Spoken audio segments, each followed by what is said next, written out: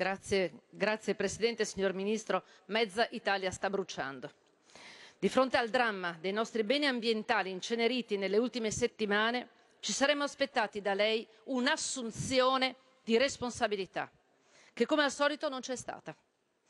I dati che ha snocciolato e il profluvio di belle intenzioni nascondono solo il fallimento delle vostre politiche ambientali e di tutela del nostro patrimonio naturale fallimento voluto e perseguito da questo governo che procede in continuità con quello precedente sostanzialmente asservito alle logiche mi passi la definizione del business as usual che piace tanto piuttosto che alla reale economia ovvero la norma della casa comune proprio nei giorni in cui l'unesco annovera nel patrimonio mondiale le nostre secolari faggete.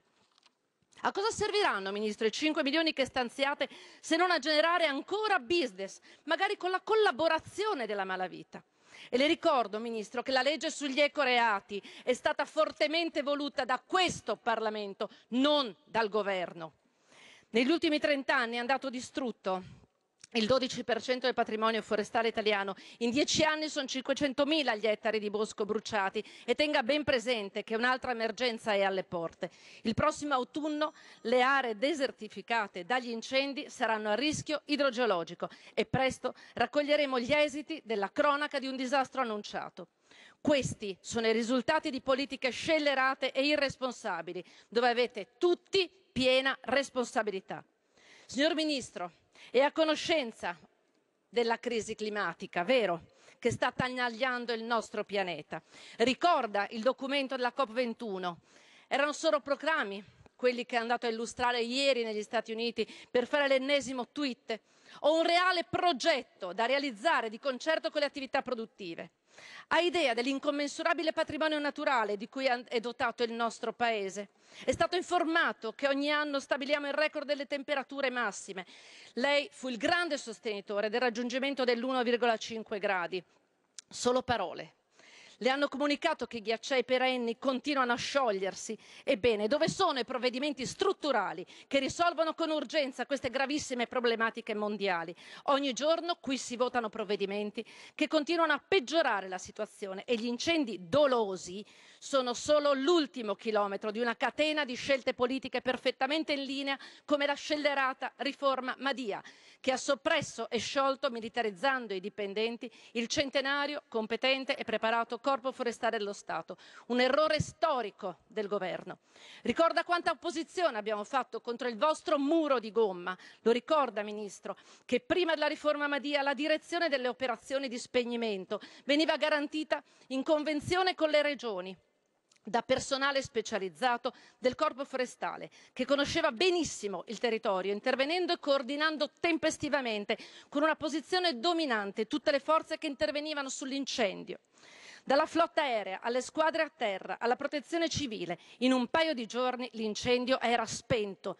Il parco del vesuvio sta bruciando da 13 giorni. Ora si pretende che tutto sia gestito dai vigili del fuoco ma la maggior parte dei 7.000 forestali esperti mezzi autobotti ed elicotteri sono destinati al servizio dei carabinieri non certo alla difficile macchina che gestisce l'emergenza incendi. Dei 32 mezzi aerei della forestale metà sono passati ai carabinieri che li sta convertendo ad altre finalità mentre degli altri sedici destinati ai vigili del fuoco solo sei sono utilizzati per spegnimento e dieci sono fermi perché devono essere adattati ai nuovi protocolli dei vigili del fuoco corpo che nonostante le ultime assunzioni paga una carenza di organico di 3.500 unità. Sei regioni a cui è demandato il controllo boschivo sono prive di flotta aerea antincendio e alcune non hanno ancora il piano regionale antincendio. Le faccio presente che il Presidente della Campania non ha voluto sottoscrivere la convenzione con i Vigili del Fuoco per l'emergenza del 2017 e solo il 13 luglio, quando si è trovato il fuoco a ridosso dei centri abitati, ha firmato l'accordo. Ministro, nulla si sa dei 48 milioni dei fondi europei destinati per l'acquisto di mezzi e strumenti antincendio, nessun atto di programmazione. Le ricordo anche che solo un comune su cinque ha realizzato il catasto delle aree bruciate. E cosa dire in merito delle aree del costo orario per l'intervento dei Canadair gestiti da ditte private sono 14.000 euro l'ora. Sto per concludere, Presidente, grazie. È così che si fanno i tagli alla spesa pubblica, togliendo la competenza al pubblico e strapagando un servizio vitale.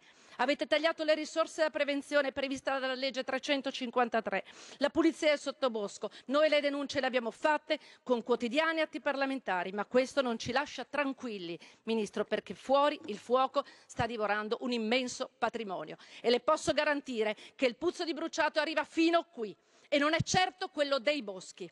Non ci stupiremo poi se le fiamme spente scopriamo innumerevoli discariche, sì certo Presidente, nelle aree protette. Quanti si stanno leccando i baffi in questo, in questo momento? Ministro, credo che lei e la Ministra Madia dovete solo semplicemente rassegnare le dimissioni. I cittadini ringrazieranno. La ringrazio. Il collega D'Agostino adesso. Grazie Presidente. Ministro, onorevoli colleghi, l'Italia brucia come mai negli ultimi anni